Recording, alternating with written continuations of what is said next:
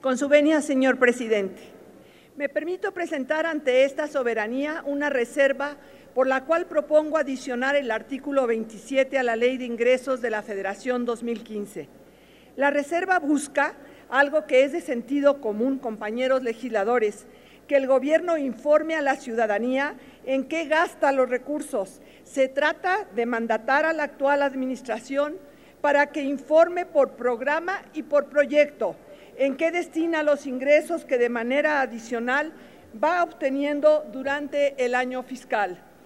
Esta obligación de todo funcionario público no parece estar cabalmente comprendida en el dictamen que hoy se discute, al menos no para los ingresos adicionales que se obtendrán el año entrante y que serán cuantiosos.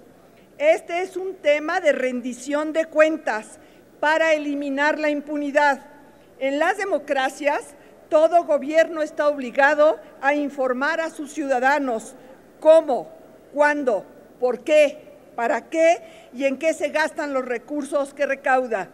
La corrupción justamente es la consecuencia de la falta de rendición de cuentas y de la impunidad. En México, hoy estamos conscientes del gran daño que ha causado la corrupción al país, a los estados, a las familias, a los, ciudadanos en seguridad y en calidad de vida. Este es el tema de la reserva, rendición de cuentas que elimine la impunidad en el mal uso del presupuesto 2015, recursos que pertenecen a todos los mexicanos, los que están esperando que esos recursos puedan solucionar los problemas que aquejan a este país.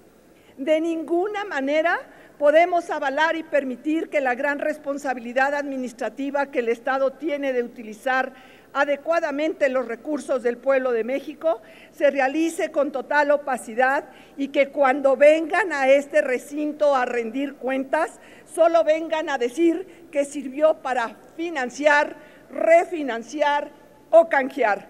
Así, sin mayor explicación, como sucedió en el último informe del presidente y como está sucediendo con el presupuesto y la deuda pública del año 2014. Este dictamen no garantiza una rendición de cuentas sobre el destino de los recursos adicionales que recibirá el gobierno federal y que son distintos a los establecidos en el artículo primero de esta ley. Es indispensable la obligación del gobierno federal de dar a conocer el destino de los ingresos adicionales con los que cuente para evitar desvíos, para no incurrir en ejercicios irresponsables y para no propiciar actos de corrupción. Tenemos que cerrar los espacios a la discrecionalidad del ejercicio del gasto público, a la corrupción y a la opacidad. La rendición de cuentas, así como la transparencia, es un derecho de todos los ciudadanos y una obligación fundamental del Estado. El presidente Enrique Peña Nieto ha estado permanentemente declarando su compromiso con la transparencia y la rendición de cuentas. Este es el momento que con los hechos demuestren la congruencia de su mensaje.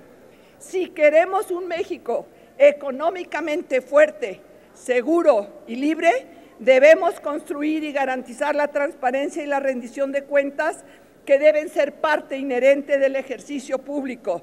Negarse a ello es ir en contra del bien común y del orden público. Es un autoritarismo disfrazado. Es un atentado contra el patrimonio de los mexicanos que con su trabajo diario, el esfuerzo conjunto de sus familias y comunidades pagan fiel y puntualmente sus impuestos. Lo mínimo que el pueblo de México espera a cambio, estoy terminando, señor presidente, lo mínimo que el pueblo de México espera a cambio es una explicación precisa y detallada de la forma en que esta administración está usando el producto de su trabajo. Es cuanto y pido que se incluya en el libro de los debates.